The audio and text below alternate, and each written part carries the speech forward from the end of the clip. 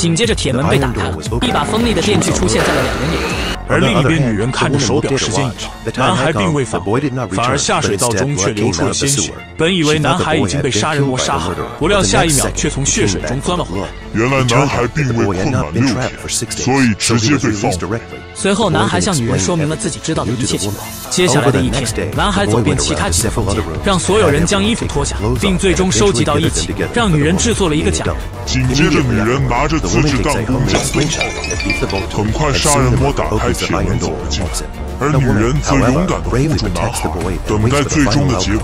杀人魔见状，大步上前挥出电击，不料女人却及时躲避，一具假人却被砍翻在地。而女人此时也大喊让男孩快速逃。男人刚想要出来，不料男孩却将铁门牢牢插紧，将他困在了里面。